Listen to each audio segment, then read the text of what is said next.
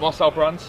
Now, uh, what what are we giving him? He's a out cool of, guy, out of- yeah, he is. He's so competent and uh, quite suave as well. Do you know? what, There's a lot of debate at the moment about who should be the next Bond, and Idris Elba's obviously being mentioned. I think Brands would make a terrific. Yeah, I'll back that. Bond. Yeah, yeah. yeah I but think, I think how- he'd make a good Bond film. Uh, there is that. As I said that, I thought Same- that, Dave. same- Incidentally, He needs- he's that competent. He can play both roles. Yeah, maybe, yeah. maybe you could do a Bond where he's both. You know what I mean? Like one of them Eddie Murphy films, it where like he plays two characters. Uh, All but- I want to know now is the next interview Marcel Brands do. I want to see him walk along and go, Brands, Marcel Brands. That would be That's it. amazing. But out of ten, what are we giving him so far, Paul? And then I'll go to you, Dave. I'm going to give him a 9. I would give him a 10, but he himself actually uh, decided that by saying next season I want business done earlier. But the business has been great. Um, 9 out of 10 is a harsh one for me there. That's only because it wasn't done earlier. Because then if it was done earlier, we would have had the likes of Mina and stuff. But when he described the deal, the fact that the transfer window stayed open for other leagues, and Barca was sort of waiting around saying maybe we'll get a bigger offer. Yeah, I was very happy to hear that like those players were keen on coming to Everton as soon as they heard. yeah, yeah. Dave, Well, they're going to high eight. right. Minute, I think Why didn't he get a ten? Proof's in the pudding though, isn't it? We still, these players still haven't played yet. Yeah. The only, the only one who's actually come in has been Richarlison. We played last game. We played with ten men who all were in the same set, were in the side last season. Seven, eight, seven? Yeah, Okay. I think he's done all right. Done all right. Yeah, I think I he's think done he's all done. right. Because I give him a nine personally. Yeah, I think he's done fine. Do you know the reason why I wouldn't give him a ten?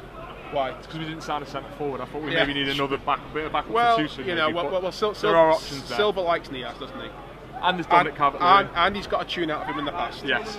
And as you say, there's Calvert Lewin. And if Lookman stays, he could offer us something going forward. I mean, that's another question. Walcott's always wanted to play through that Exactly. through the through the through the Attacking wise, we're all right. So the biggest issue was defence, and he got two defenders in. So Yeah. whether those defenders work on that it was yet to be seen.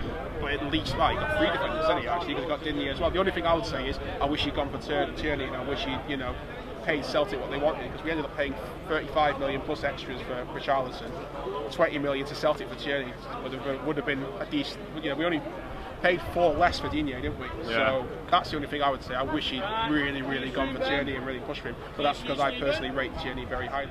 you know, I want to get bedded in, hopefully, fingers crossed, it'll can't be any worse than last year, or past two or three years, can it? is that the only reason why you wouldn't give him ten out of ten? Do you think is the fact that he Everton didn't do the business Well, sooner? they look at them clowns off the road, they seem to do everything right away, get it done sorted away and finish with. I always would say I'm all sorry, last day, you'd say the last day at um, transfer every time. Hmm. But hopefully, fingers crossed, he's got it right. nine or ten. You know, he just he brings an air of professionalism to the club that I don't think we've had in a very very long time.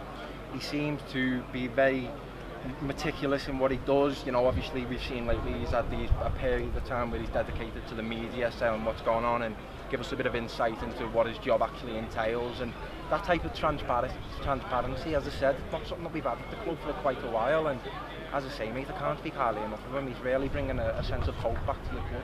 Ten. It's got to. It's Really? got to be. No, but Okay. seriously, like you look at, you can say everything about the transfers. You know, you can say best signings, loads of money, brilliant.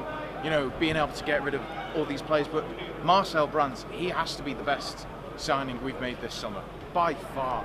He's brought organisation to the club. He's brought a bit of character, in a sense.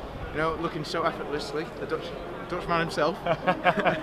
um, he's brought a vision. Yeah. He's brought ambition. He's brought a hell of a lot of players, but he's addressed.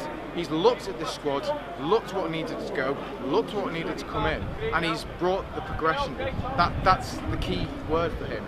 He's progressed the club. You know, made us actually look like contenders because he's he did more in probably two weeks than Walsh did in an entire two years. So I definitely say rate him 10 out of 10. You're a big 11. fan then? I am a massive fan.